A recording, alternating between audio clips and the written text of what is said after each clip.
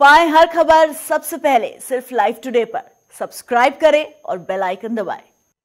वहीं जालौन में private clinic आपदा में अवसर ढूँढने का काम कर रहे हैं, जहाँ पर बाज़ार में मिलने वाले 600 रुपए के इंजेक्शन को प्राइवेट क्लिनिक के चिकित्सक सत्ताईस रुपए में लगा रहे हैं और मरीजों से खुलेआम लूट रहे हैं।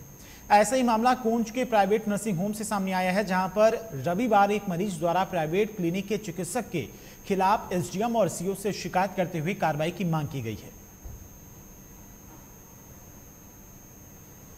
मेरे पिताजी की चौदह पाँच दो हज़ार इक्कीस को तबीयत अचानक खराब हो गई थी तो मैं उनको श्री राम प्रसाद हॉस्पिटल में लेकर आया और डॉक्टर साहब का नाम है संजीव निरंजन।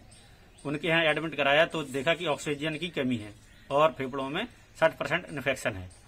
इसके बाद उन्होंने ट्रीटमेंट चालू किया तो जो इंजेक्शन वो लगा रहे थे वहाँ पे लोकल तो जिसकी मार्केट कीमत है छह सौ रुपया और वो सत्ताईस रुपए में दे रहे हैं। तो हमने इस मामले में उनसे जानकारी ली, दूसरे मेडिकल से जब लेकर वही इंजेक्शन हम लेकर आए और उनको बताया कि सर इन दोनों में अंतर क्या है? आप यही मार्केट से हमें सात सौ रुपए का मिल रहा है और आप सत्ताईस सौ का दे रहे हो। तो उन्होंने साफ़ इनकार कर दिया कि मुझे इसमें कुछ पता नहीं है। बोले मेडिकल से पूछो। मेडिकल वाले के पास जब जाकर पूछा तो उन्होंने उससे उन्होंने भी मना कर दिया कि मुझे इसकी जानकारी नहीं है। और बिल मांगने पर उन्होंने बिल देने से मना कर दिया। अच्छा किसने दिया था इंजेक्शन ये? इंजेक्शन मेडिकल संचालक ने। डॉक्टर साहब ने लिखा था संजीव निरंजन ने। मेडिकल भी उन्हीं का है क्या? मेडिकल दो और हॉस्पिटल दोनों उन्हीं के हैं। अच्छा। तो आप किससे शिकायत की है? हम यहाँ क्षेत्राधिकारी और एडीएम महोदय से उचित कार्रवाई करने हेतु यहाँ पर आए हुए हैं। हाँ।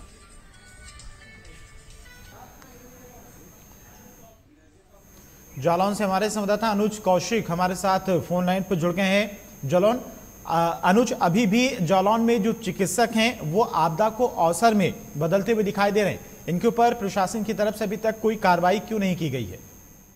देखिए धीरन बिल्कुल बता दूँ कि जालौन में लगातार आपदा में अवसर ढूँढने का काम चिकित्सकों द्वारा किया जा रहा है। जिस तरीके से लगातार कोरोना के मामले बढ़ रहे थे, उसके बाद प्राइवेट हॉस्पिटलों को भी सरकार द्वारा चालू करा दिया गया था कि अगर कोई भी व्यक्ति प्राइवेट हॉस्पिटल में जाता है तो सरकार द्वारा उसका इलाज किया जाएगा।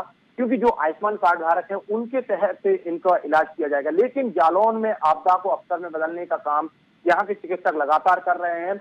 एक मैनोपेनिक इंजेक्शन जो कि मार्केट में छह सौ रुपए से सात सौ रुपए की इसकी कीमत है, लेकिन जो कोच में पॉली क्लिनिक है नदीगांव रोड पर, वहाँ पर डॉक्टर संजीव निरंजन द्वारा लगातार लोगों जो मरीज़ आ रहे हैं, उनसे सत्ताईस सौ रुपए में उस इंजेक्शन को वसूल की जा रहा है।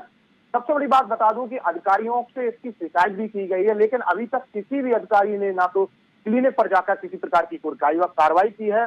यहाँ तक कि सीएमओ के संज्ञान में ये मामला भी आ चुका है, लेकिन सीएमओ द्वारा कहा जा रहा है कि मामला उनके संज्ञान में नहीं है। तो कहीं ना कहीं यहाँ पर प्रशासनिक अधिकारी भी लगातार लापरवाही बरत रहे हैं, जिस तरीके से मरीजों को लूटा जा रहा है। कहीं ना कहीं जालौन के लिए खतरा है और लगातार जिस तरीके से कहा जा रहा है सरकार द्वारा कि कोई भी प्राइवेट हॉस्पिटल किसी प्रकार की ब्लैक में कालाबाजारी, इंजेक्शन और दवाइयों की ना करें।